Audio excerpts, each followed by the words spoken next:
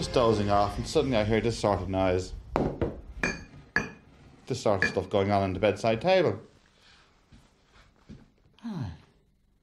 Freeze, I feel, I feel the room actually freezing. Sort of a cold chill coming into it now. I feel like things got my back. So I woke her up and she could hear the same thing going on, you know. This this sort of music moving movement. So I started to tell her, I was going for a few minutes and I started to tell her about some of the things that are happening here, you know. And then it stopped. And then you could hear this movement down on the floor of the bedroom. I said, geez, whatever it is is playing with the fold up alarm clock. Because you could feel that, you could hear the clock being moved around. So I turned on the bedside light real quick, and there it was, over by the door, 10 to 3 in the morning, the clock on its side. Michael is a tough, hard-working Irish farmer. He and his family have been working Ballyphilip Farm in County Wicklow, in the east of Ireland, for over 50 years. The farm itself goes back much longer than that, over 350 years, to the beginnings of the 17th century. So it's been through some of Ireland's most troubled and turbulent times. There are three generations living in the farmhouse the grandmother, Michael and his sister, and a clutch of children. And all of them have been touched by the strange, unexplained series of events that have been going on at the farm for as long as anyone can remember. Eileen, the sister, for example, still has a vivid memory of an event that occurred way back in her childhood. I must have been about 13 at the time, going to bed and hearing this noise out here in the garden. And like we're a large family, so we're used to big birthday parties, you know, half the neighbourhood in. And I thought, that is strange. There shouldn't be anybody here at this hour of night, you know? Looking out the window and seeing it was like a mass of colours all kind of swirling around, like children at a big party. All you could hear the laughter uh, and the shapes, but I couldn't really identify one particular shape as such. It was like a big, yeah, kaleidoscope of colours, you know, and laughter. I thought that's odd, and didn't think anything more of it. And years later, I mean, I didn't really speak about it either because I thought they'd send me to a madhouse, you know. And uh, years later, my other sister said she'd also experienced the same thing. Strangely enough, in more recent times, a friend staying at the house claims to have seen a very similar event, as if it were a cluster of children dancing around a maypole. Well, about, it must be 10 years ago now, I stayed down here. I used to stay down here regularly. I stayed down here this particular night. And I got up about one o'clock, half one in the morning to go to the toilet. Um, in that bathroom window there. And I could see a silhouette of looks it, it, looked like children playing out in the garden and I could hear them. And I looked out the window and I, I thought nothing more of it. Went to bed, got up the next morning, and I said to Connors, my friend, I said, uh, I see uh, Robert's kids were out last night playing for the the party or whatever. And he says, Oh no, they they didn't they weren't here last night, they weren't staying in, in the area. There's no neighbours near us here. More strangely still, during some construction work in the early 80s, when an old plum tree had to be dug out, they found, tangled in its roots, a large block of stone. It had a hole in the centre, as if it were the base for a pole. Could it perhaps have been the site of an old maypole? Indeed, it was during this construction work, particularly the draining and digging out of a stream, that the strange, unexplained activity in the house began to increase, to such an extent that nobody could avoid talking about it. A constant succession of small, slightly disturbing events that nagged away at the mind. The sort of experience, for example, that Michael's mother had in the kitchen. It's about half past nine. She heard these footsteps running down along the landing, down the stairs, the front door opening and slamming shut. And she ran into the uh, into the dining room so she could see up the avenue, and she didn't see any of the family running up the road. Then she thought maybe it was one of the kids. They'd come back to get some school books or something. So she phoned up the schools. No, they're all there at nine o'clock. So um, later on that morning, she was uh, evidently cooking the dinner, and she felt something in the scullery. She just happened to look around. She saw the lid of the where the potatoes were boiling, and the lid was just well, maybe a foot up over the pot, just went gently back down again. And she was saying to us at dinner time that um, that she thought that we might have a poltergeist in the house. And myself and my father said, "Don't be silly, you know." things like that don't happen, you know. I mean, that's only in the movies. So um, dinner was just about over.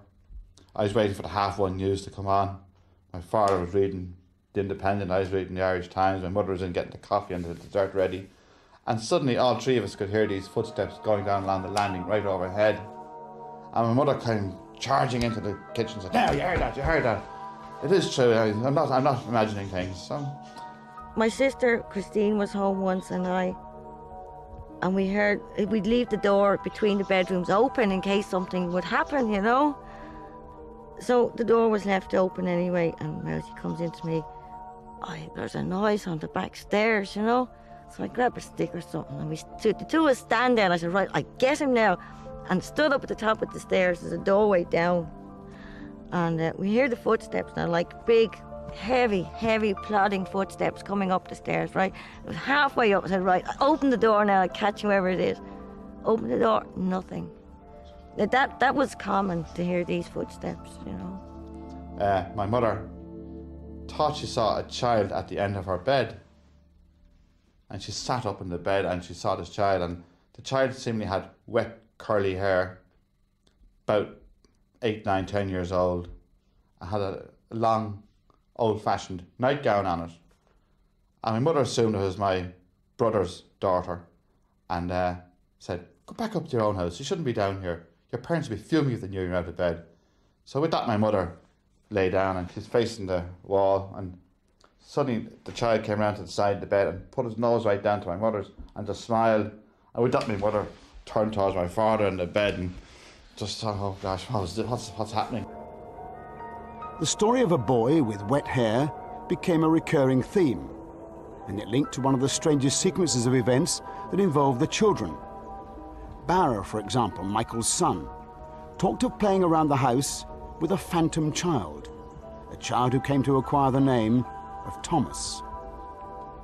It was absolutely lashing rain and a really thundering rain. And Barra said to me, because the window, the curtain was over, and I was in the kitchen making the lunch, and he said to me, There's a small child outside, and he's really, really wet. Will you let him in? And I said, God, it must be Sean now, you know, one of the nephews, and I'll, I'll, go out and get him. He shouldn't be out in the rain. And I went, I went to the window, and there was no one there, and he was really persistent. I really getting into a temper about it. And I said, okay. He's ran down the avenue there, so I said, I'll go out. So I got I got an umbrella and one of Michael's coats and I put it on. I said, I'll go out. But there was no child there, but he was really persistent that there was a child there. And then he explained to me that he was he was about he was a little bigger than him, but really, really wet. And that's when things really did start then. Now, myself and my son lived in Denmark for several years and didn't know of all these comings and goings of Thomas and God knows who else, you know. And I was out picking onions, and little Sean was only three, so he was playing away in the treehouse. And he came up to tell me all about Thomas. I said, "Who is Thomas?" You know, but there was nobody, nobody actually in the treehouse at all. So it was only later I discovered who he was, and didn't encourage it. the treehouse playmate. we were sitting in the kitchen one day and we're at the table and I was doing drawing with Bar because Bar loves drawing. And I could feel this real cold breeze in my legs and all the, the doors were closed and the heating was on because it was a winter's day. And oh God it was really really getting cold now. And then Bar says to me my friend's under the table. And I said oh is he? Because at this stage I was really thinking, now this could be an imaginary friend because children have this. And next minute, the door flung open and the cupboard in the kitchen. And well, I said to Barra, tell your friend to close that door because I'm not getting up to close it. And he told him, he said, well, he won't. And then it got real warm again, and then the child had obviously gone. So I said to Barra, the next time that your friend's here, tell me and I want to meet him. So it was after lunch one day, and he came out and he goes, Oh, my friend's behind the sofa. Laughing his heart away, like someone was really tickling him. And I remember looking in and I saw Barra. He always sits with his feet crossed, and I remember him sitting here on the carpet and seeing a shadow of it was like a little boy. Well, I couldn't tell it was, little, it was like a little child. These strange events disturbed Michael perhaps more than anyone else, he began to dig into the history of the farm. He found that in the 1700s it had been owned by the Livesey family, and then towards the end of the 1800s it was passed over to a family called McKee, and they did have a son called Thomas. The story in the village is that in 1902, Thomas, aged 10, was drowned in the river along the banks where Michael was carrying out his landscaping work. And in the churchyard, there is a gravestone where the remains of young Thomas lie with those of the rest of the McKee family.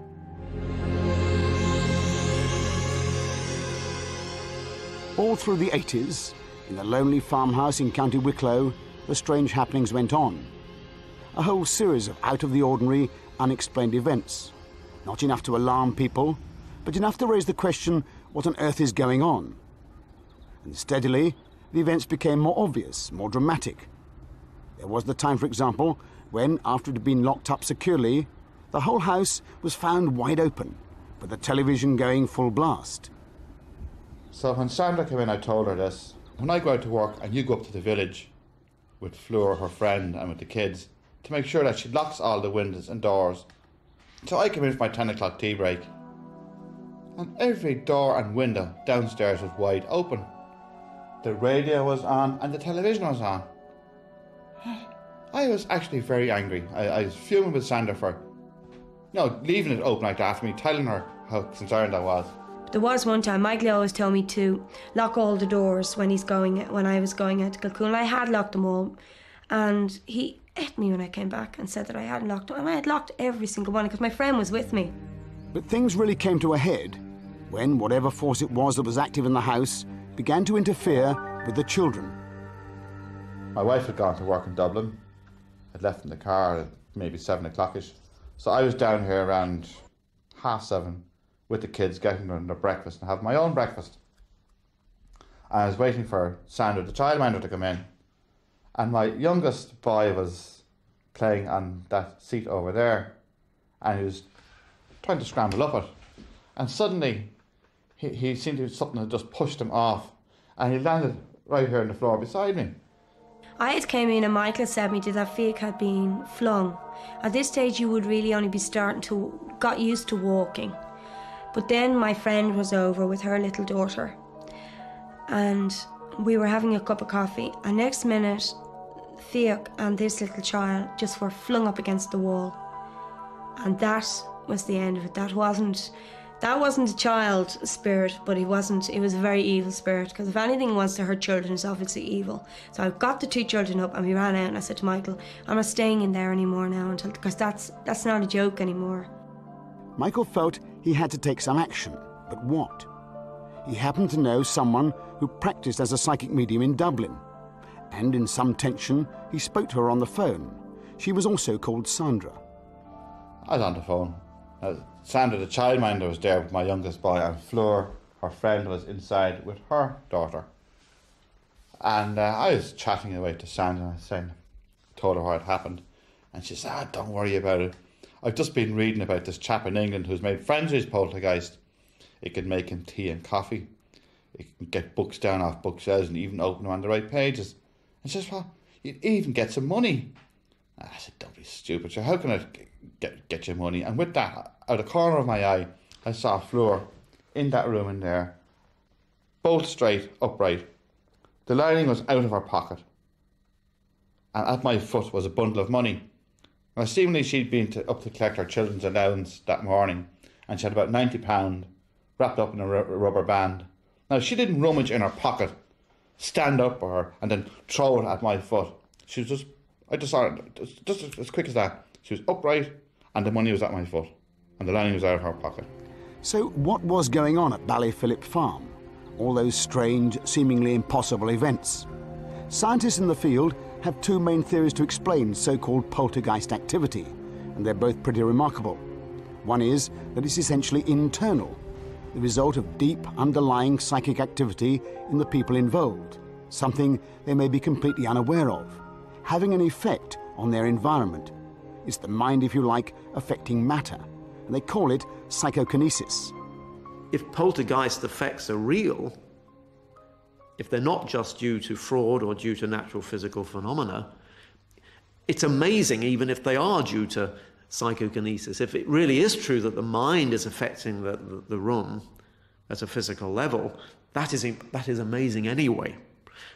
You don't have to adopt a spiritualistic interpretation of poltergeist effects to, to say that is, that is amazing. It, it really is amazing anyway. And for that reason, of course, the majority of physicists and scientists probably would refuse to countenance the reality of these phenomena. But my own view is that one should not be that dogmatic. I think there is at least some evidence that there are perhaps unexplained phenomena occurring in poltergeist cases, which might be attributed to psychokinetic powers. The second, no less remarkable, is that it's external, an unexplained, often whimsical focus of energy, perhaps linked to a troubled spirit, moving things around and causing strange events. It's almost as if it is an external or independent entity which is playing tricks, terrifying the whole family. And the question is why? Is it because it is an earthbound? Uh, if such things exist, is it someone who actually, in a confused state, is actually saying, What, what are all these people doing in my house? I should get rid of them. I will scare them out. Then you get a sort of interaction, and quite often you find that you have to take that theory seriously. But whatever the source of the disturbances, eventually in 1993, an exorcism was carried out at the farmhouse, and it seemed to have some effect. Things quietened down. But the happenings over the past 10 years have had their effect upon the family, Michael in particular has a sense of an altogether darker, more sinister undercurrent that lingers on. In his mind, it's linked to the history of the area, a record of extraordinary violence and brutality, going back to the Civil War of 1798. If the truth be known, during this most bloody period of Irish history, 1798 was just like one horrendous civil war. You could nearly compare it to what happened in Bosnia in recent in the recent past. It was brother against brother, father against son, neighbour against neighbour. Was Catholic and Protestants and Presbyterians fighting on both sides.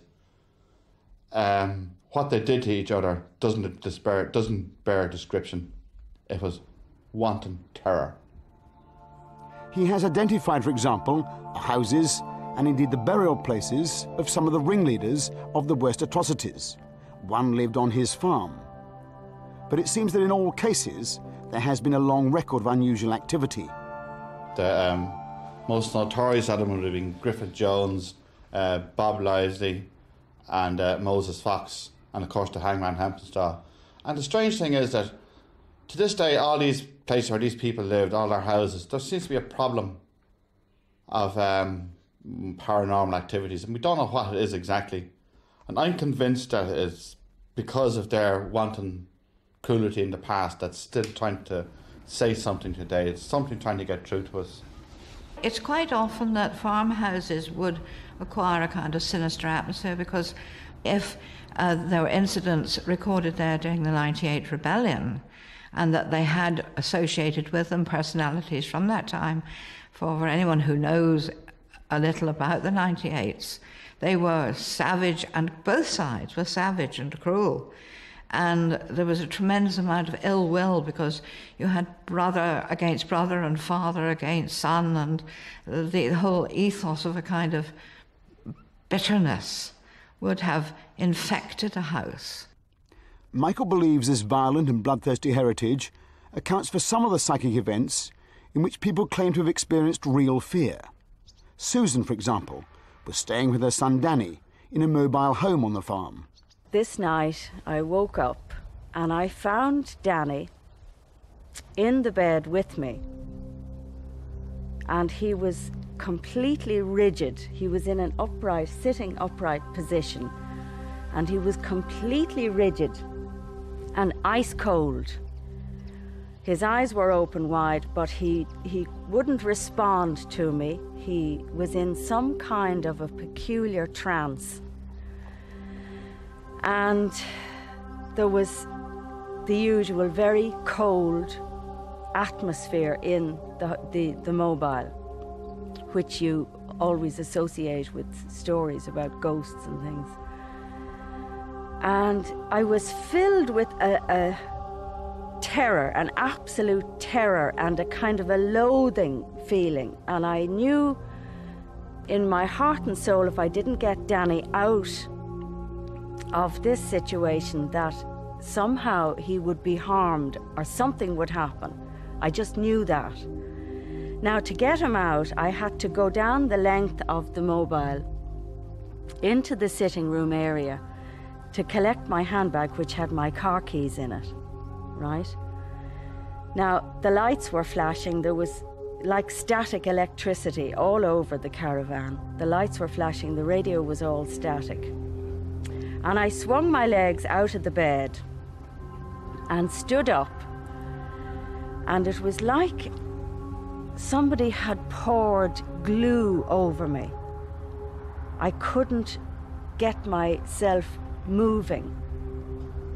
And the more I the more frightened I got to get down and get the bag, this was the main objective get out. The more I thought about that, the heavier this kind of oppression got. And it was like fighting my way through glue. Now, I suppose the mobile would have been about 32 feet in length, which would take you a couple of seconds to walk from one end to the other. It took me nearly 20 minutes because I had a clock on the wall and I could see. I got down eventually and I got the keys and I got back, and Danny was still in the same position, completely rigid and ice cold. And really, I don't know how I did it, but I just wrapped a blanket around him and got him out into the car, and I took off like a bat out of hell. The story from County Wicklow is undoubtedly a strange and puzzling one. The psychic activity has gone on for so long. It's been experienced by 14 or 15 different people of all ages and personalities, and the events continue to this very day. It would seem that this case is destined to join the large number of mysterious cases that science cannot yet explain. But cases which, as several leading scientists have put it, can no longer simply be brushed aside.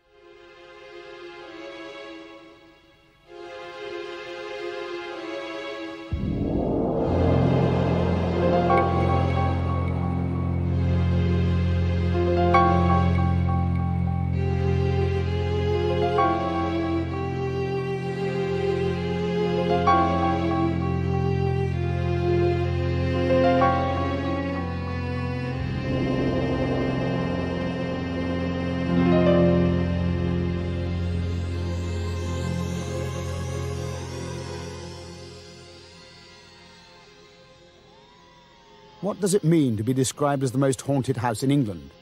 That is the reputation that Chingle Hall has acquired. How did it come about? How does such a reputation distort and colour the events that go on here? Chingle Hall in West Lancashire is a place with a long and murky history. It goes back to the beginning of the 13th century. People lived and worked in a moated farmhouse here when the Knights of Europe were marching off to the Crusades. Later on, during the Reformation, this place was a sanctuary for Roman Catholics in the area. The place is full of tunnels and crannies in which Catholic priests used to hide. People risked their lives to come and practice the rituals of the Mass here. Chingle Hall was a secret mass centre at the time of the religious persecution. And we have priest hides because they came and practiced Mass.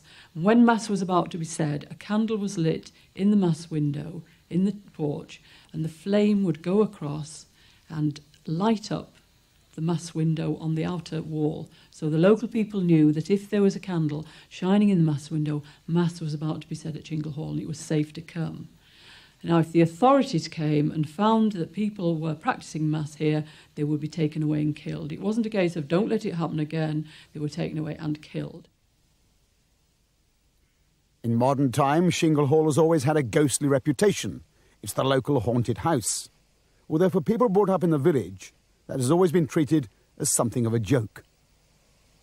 We never actually saw any ghosts, but we always, always because it was storm lanterns and candles and an old um, coal fire and wood fire, so it was always dark and flickery inside.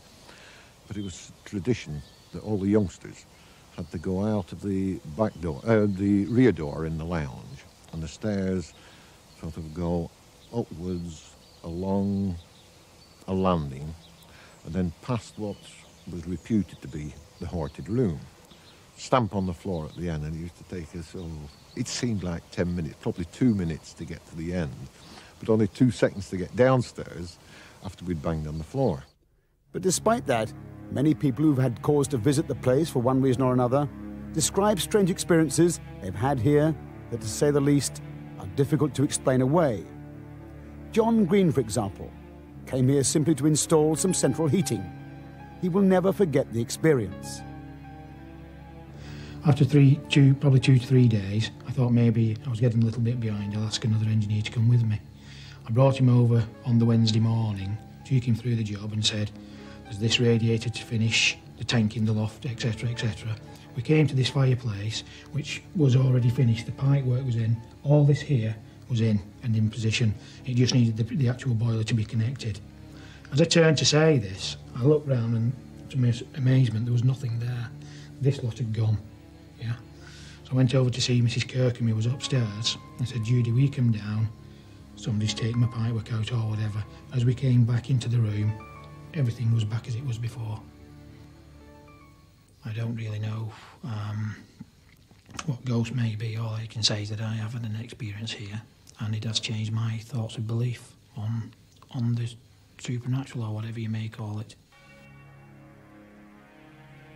Terry Whittaker is a radio producer who decided to spend a night at Chingle Hall and do some recordings. Again, he will never forget it. At about 20 to 1 in the morning, uh, we heard footsteps out here in the corridor.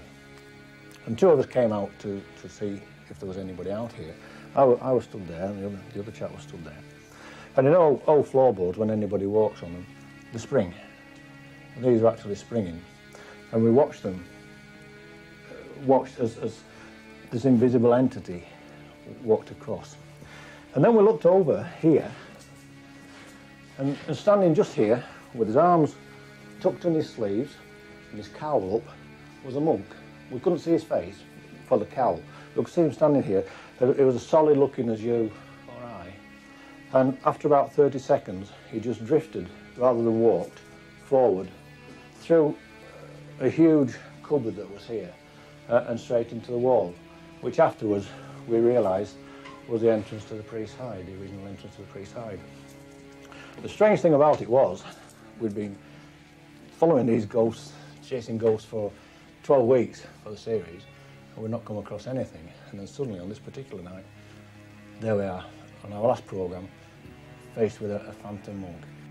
These kinds of extraordinary experience are a regular occurrence. Indeed, there have been so many strange happenings at Chingle Hall that it has become the focus of a great deal of paranormal research to try to pin down something of what is going on here.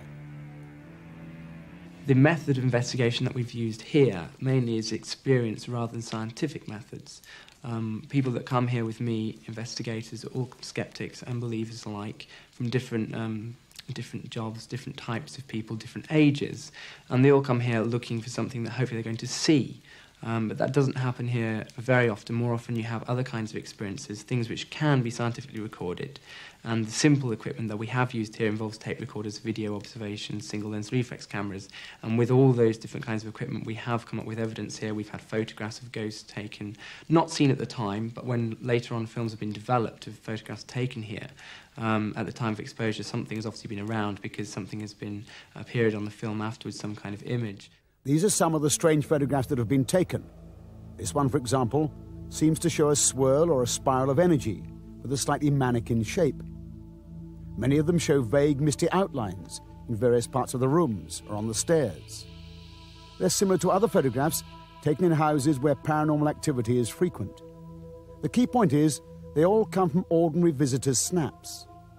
No one was aware of anything when the snaps were taken. The images were revealed only in the printing. But of course, it's difficult to verify that these are anything other than fogging or perhaps some more elaborate deception.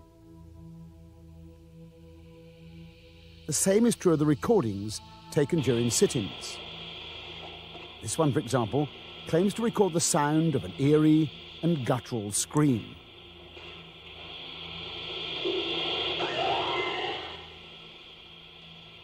It was analysed and defined as not coming from a human throat. But again, these are scarcely acceptable as evidence of anything. Indeed, that is one of the commonest scientific responses to much of what goes on at Chingle Hall part hoax, part hokum.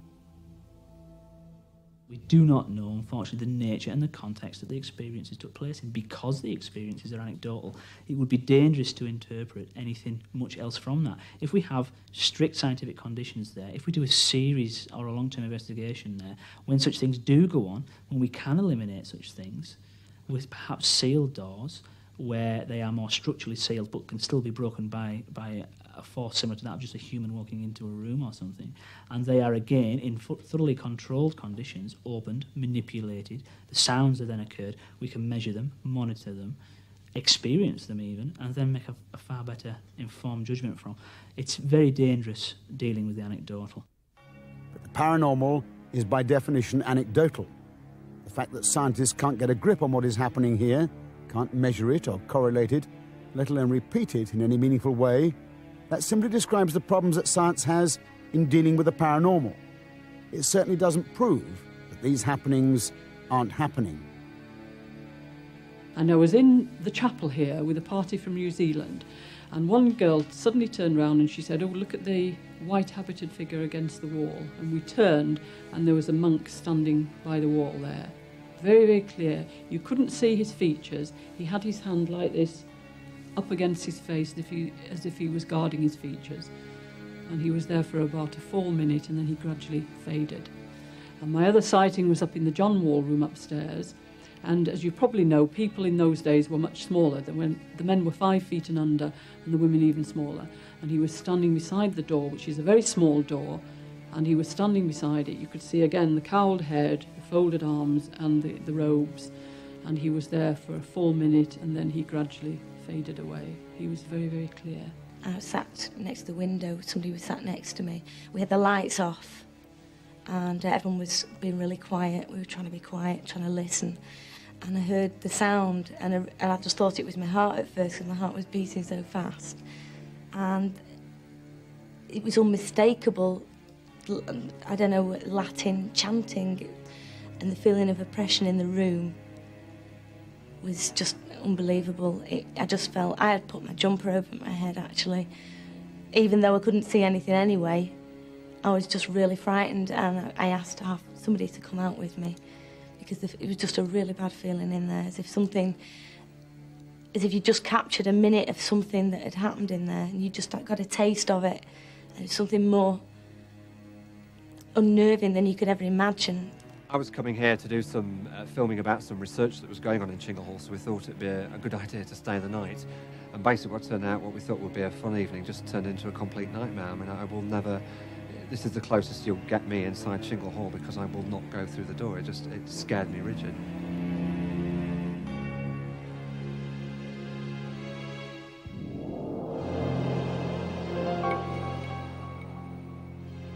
A great deal of time has been spent at Chingle Hall trying to identify just who some of the most frequently seen apparitions might be. Although there have been many sightings of monk like figures, as it happens, some of the most prominent stories are linked to two women. One of them is Margaret Howarth. She owned Chingle Hall in the 50s and led a very social life here. The legend has it that she loved Chingle Hall so much she's never been able to tear herself away, despite her death.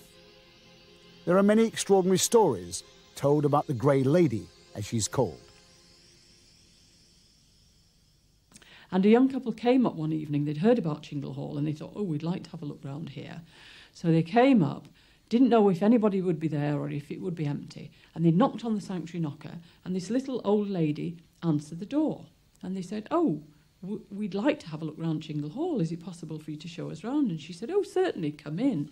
She showed them all round the hall, and they were fascinated and told, she told them all the stories of all these things that happened to her.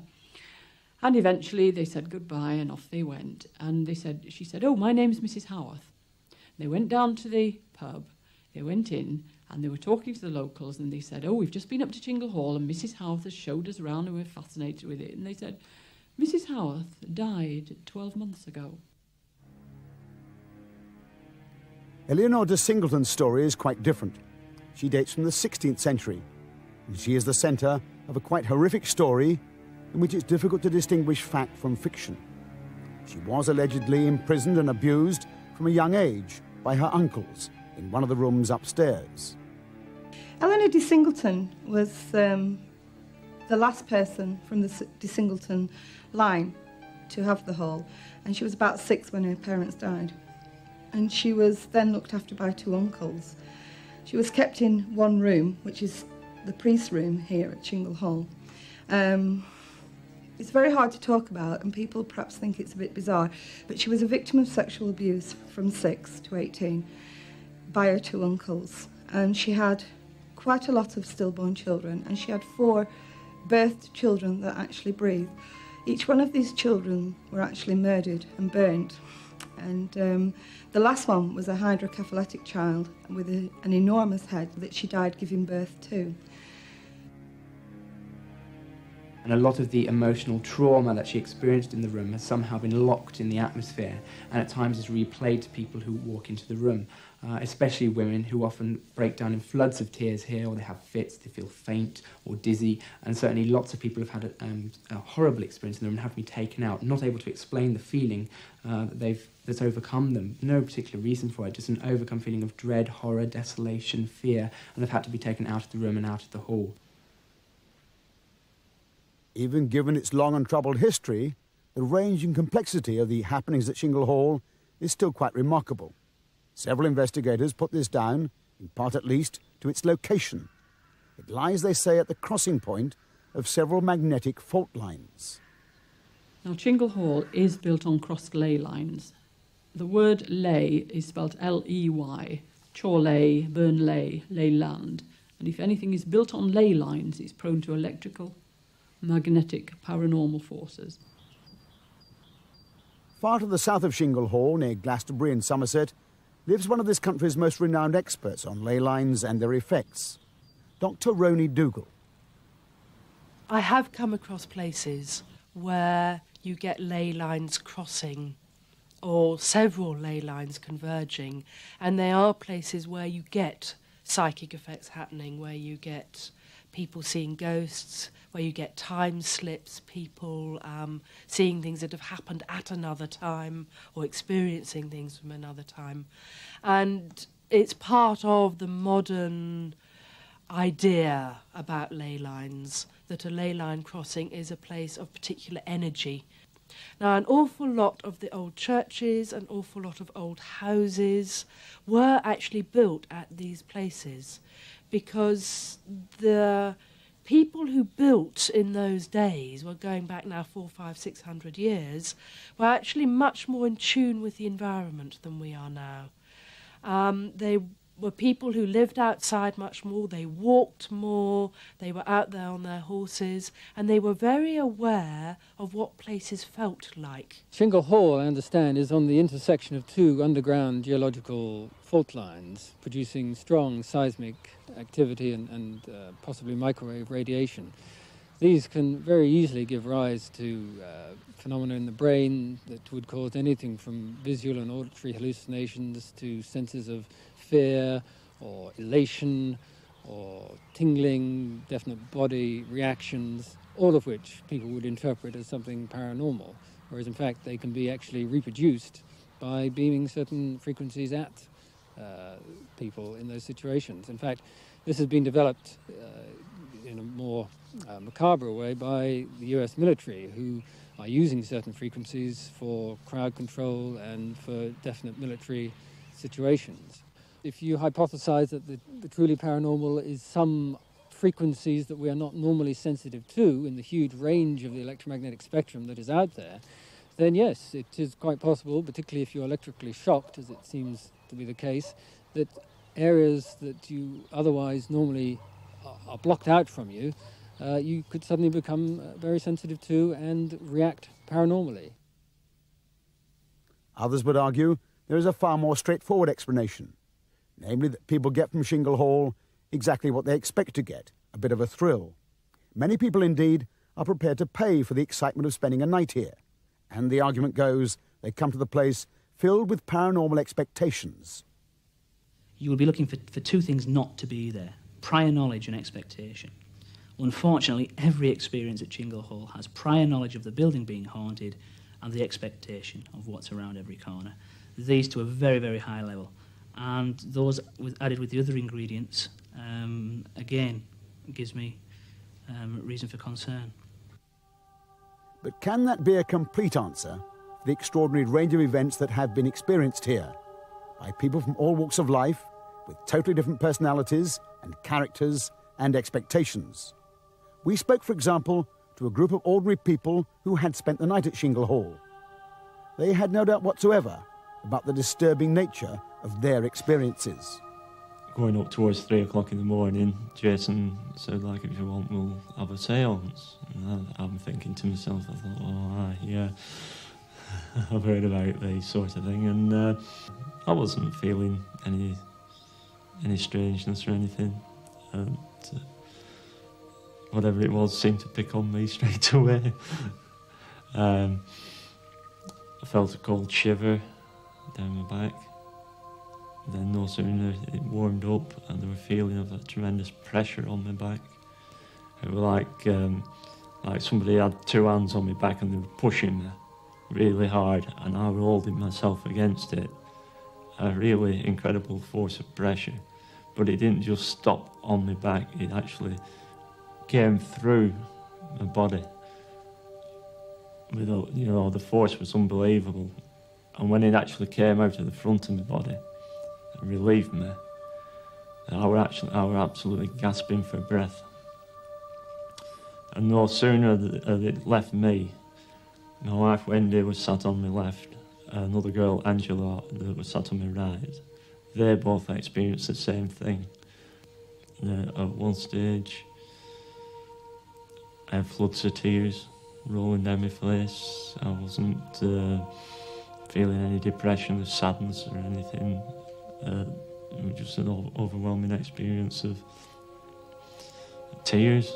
And it was quite late, and uh, I heard this clanging, crashing noise in the porch um, and wanted to go investigate it. So I opened the door, and uh, to my amazement, what I saw was this chair um, physically moving on its own and making a hell of a noise because obviously it's a tile floor here. And the chair was doing this. Uh, violent movements. Um, and obviously I witnessed this and I was on my own. I wanted to go and get someone else to see it. So I shouted to my friend Andy, who came, and the rest of them didn't want to come see it.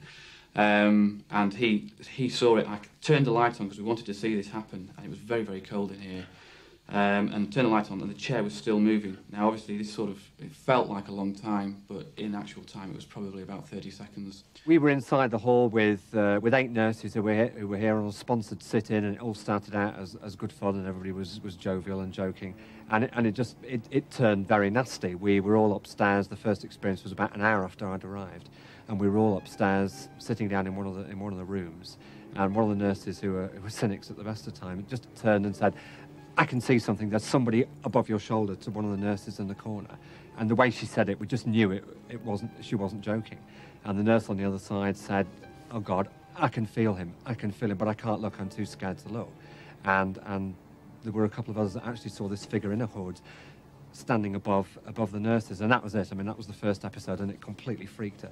I mean, she was in tears. She couldn't talk for about an hour and a half, and it was. We knew then that it was going to be a very, a very, very long night. It was the first occasion we came. We were all sat around the fire, and we were just talking, having a having a drink, and the, the girl who was actually sat with her back against the wall just leaned forward suddenly. She went absolutely white. The blood just went out of her face, and we were sort of leaning forward. Are you okay? And there's a, a psychic breeze was moving around the, the crowd. It's as if it had come through the wall, had sensed we were there, which wasn't.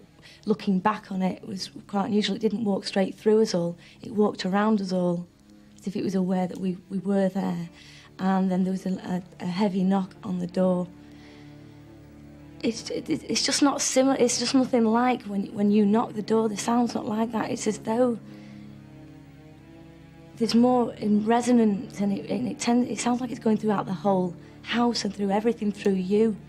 It's really, a really bizarre sort of thing. It's not. It's as if it's not a human that's doing it. There is no doubt that Chingle Hall has become immensely commercialised. As the most haunted house in England, it's become a nice little earner. Groups of people pay handsomely to spend a night here to experience that tingle up the spine. But one has to ask, does that make Chingle Hall any less haunted? She had a dog show on the car park, and several people came up that day and said, Where's the monastery? Because when we've been here, we'd like to go and visit the monastery. And she said, There's no monastery around here. And they said, Well, how do you explain the monks that have been walking across the drawbridge, across the car park, and disappearing into the distance?